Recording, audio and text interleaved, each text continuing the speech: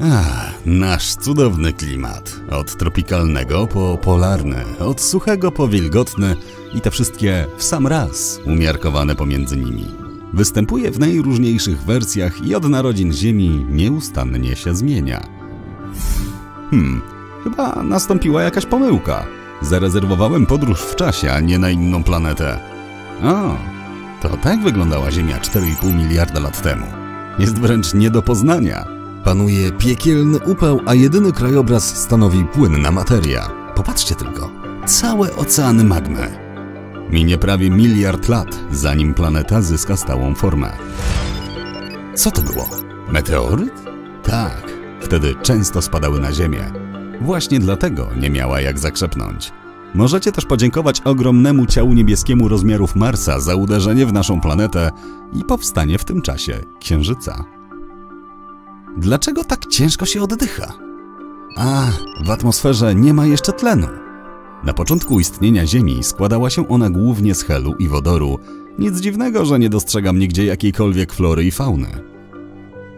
Czy ma ktoś pożyczyć parasolkę? Wygląda na to, że taka ilość deszczu mogłaby wypełnić cały ocean. Swoją drogą, tak właśnie się stało 3 miliardy i 800 milionów lat temu. Deszcz padał z tamtych chmur. Były to pierwsze obłoki w historii Ziemi. Uformowały się, ponieważ planeta w końcu zaczęła się schładzać, co pozwoliło na skraplanie gazu. Nigdy nie myślałem, że to powiem, ale cieszę się, że widzę tu tyle bakterii. To znak, że Ziemia staje się odpowiednim miejscem dla żywych stworzeń. Nadal jednak nie mogę normalnie oddychać, ponieważ 3,5 miliarda lat temu atmosfera jest niezwykle toksyczna. Ale przynajmniej w ciągu następnych 2 miliardów lat te pierwsze mikroorganizmy wypełnią ją tlenem. Hej, robi się zimniej. Około 2,5 miliarda lat temu rozpoczyna się zlodowacenie hurońskie. Jako, że tlen szybko wypełnia atmosferę, zastępując metan, efekt cieplarniany się redukuje. To najstarsza epoka lodowcowa, jaką znamy. Całą Ziemię pokrywa lód. Występuje również masowe wyginięcie bakterii i organizmów jednokomórkowych, które nie są w stanie żyć w takich warunkach. Dwa miliardy lat temu zaczyna tworzyć się warstwa ozonowa. Nie tylko chroni ona Ziemię przed szkodliwym promieniowaniem słonecznym, ale także ociepla trochę naszą planetę. Na Ziemi rozkwita życie, które na przestrzeni kolejnego miliarda lat przenosi się z oceanów na ląd. Trylobity, skorupiaki i w końcu... Dinozaury! Ratuj się kto może! Szybko, schowajmy się w tej jaskini! Około 200 milionów lat temu pojawiają się te ogromne gady i rządzą planetą przez kolejne 175 milionów lat. Za ich panowania klimat jest dość gorący i wilgotny. W tym czasie nie ma polarnych czap lodowych. Stopiły się, wywołując tym samym globalny wzrost poziomu mórz. W okresie od 100 do 65 milionów lat temu na planecie wiele się zmienia. Masy lądowe ostatecznie dzielą się na kontynenty, które znamy dziś. Klimat staje się bardziej lokalny i sezonowy. Na biegunach jest zimno, a w kierunku równika temperatura wzrasta. Mimo to największą zmianą tamtego czasu jest bez wątpienia wyginięcie dinozaurów. Biedaczyska. 55 milionów lat temu ma miejsce coś podobnego do dzisiejszego globalnego ocieplenia. Dwutlenek węgla gromadzi się w atmosferze, a średnia temperatura na świecie podnosi się do cieplutkich 22 stopni Celsjusza. Muszę przyznać, że bez śmieci, plastiku i neonowych szyldów Ziemia to piękne miejsce. Hej, a co tu robi ta paprotka? A, to słynna paproć, która ochłodziła naszą planetę, Azolla. 49 milionów lat temu zaczyna kwitnąć w Arktyce, pochłaniając gaz cieplarniany, czyli dwutlenek węgla. Przez kolejne 2 miliony lat życie na Ziemi to prawdziwa sinusoida. Temperatury raz wzrastają jak w szklarni, by po chwili osiągnąć poziom z epoki lodowcowej. A tak na marginesie mam do Was pytanie. Wolelibyście żyć przez rok w bardzo gorącym czy bardzo zimnym klimacie? Dajcie znać w komentarzach. Ale wracając do tematu, przeskoczę teraz z naszą opowieścią trochę do przodu. Włączamy dopalacze. Uhu, uważajcie na tę skałę. Wow! Czy to był mamut? Szybciej, wynośmy się stąd. A, dotarliśmy do epoki lodowcowej, która zaczęła się 2,5 miliona lat temu. Średnia temperatura wynosi nawet do 10 stopni mniej niż dziś.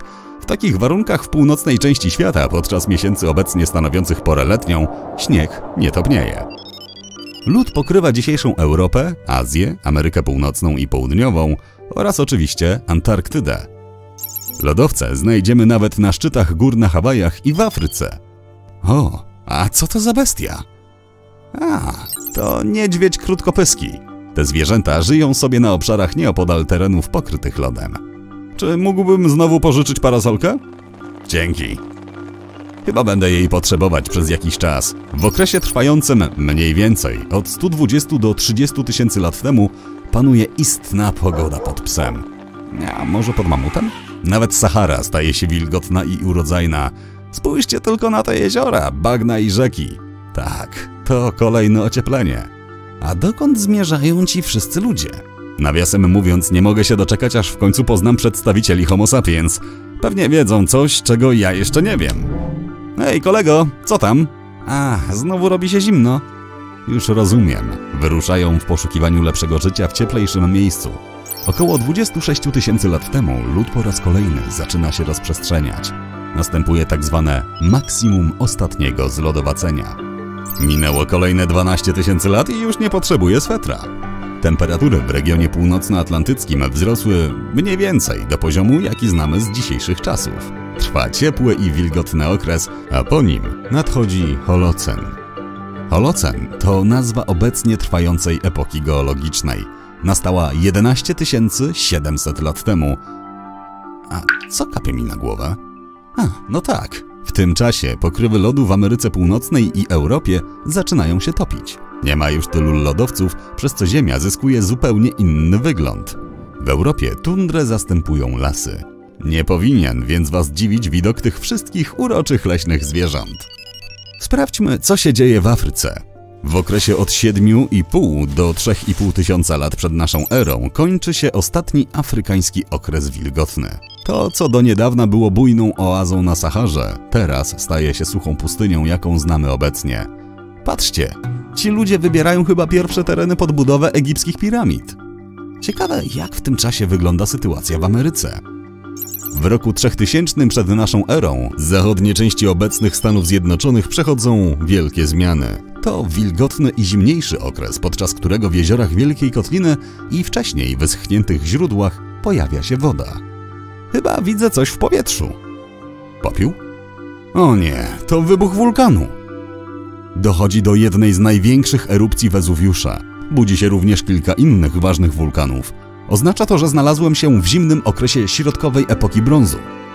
W latach 1800-1500 przed naszą erą w regionie północnoatlantyckim panują wyjątkowo niskie temperatury.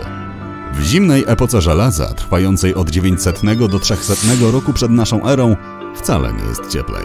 Cóż, nie bez powodu określa się ją zimną. Nareszcie. Termometr wskazuje, że znowu robi się cieplej. Od roku 250 przed naszą erą do roku 400 naszej ery w rejonie północnego Atlantyku i w Europie występują nietypowo wysokie temperatury. Pewien starożytny historyk napisał nawet, że w tym czasie w Grecji zaczęły rosnąć daktylowce. Ale skupiając się na opowieści, znowu czuję coś w powietrzu. Po raz kolejny popiół? Czy to lawa? Uciekajcie! W roku 535 naszej ery dochodzi do kolejnej erupcji wulkanu, tym razem w tropikach. Wywołuje ona następny drastyczny spadek temperatury. To najpoważniejszy taki przypadek na półkuli północnej od 2000 lat. A potem? Spróbujcie zgadnąć. Znowu się ociepliło. No rany, ten klimat chyba nie może się zdecydować.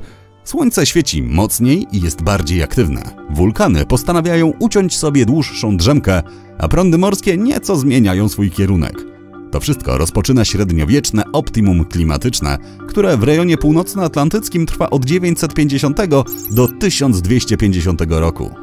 Podczas tej klimatycznej podróży zrozumiałem jedno. Zawsze powinniście mieć pod ręką ciepły sweter. Na pewno mi się przyda, żeby przetrwać małą epokę lodowcową, która zaczyna się około roku 1300 i trwa do 1850. Epokę tę nazywa się małą, ponieważ nie jest aż tak ekstremalna jak poprzednie. Mimo to również wtedy zdarzają się cięższe okresy. Od roku 1850 na świecie wiele się wydarzyło, ale w historii klimatu póki co było dość stabilnie. Na pewno słyszeliście, że się ociepla. Pamiętacie jak pięknie i okazale wyglądały lodowce? Cóż, temperatura wzrasta, zwłaszcza w Arktyce. Polarne czapy się kurczą, pustynie rozrastają, a poziom mórz się podnosi. Wszystko z powodu gazów cieplarnianych. Mam nadzieję, że w porę uda nam się znaleźć rozwiązanie tego problemu. Nie wiem, czy wytrzymałbym kolejny bardzo gorący okres. Uff. Jeśli dowiedzieliście się dzisiaj czegoś nowego, zostawcie łapkę w górę i udostępnijcie ten filmik znajomym. A tu macie inne propozycje, które na pewno Wam się spodobają. Wystarczy, że klikniecie jedną z nich. I pamiętajcie, pozostańcie po jasnej stronie życia.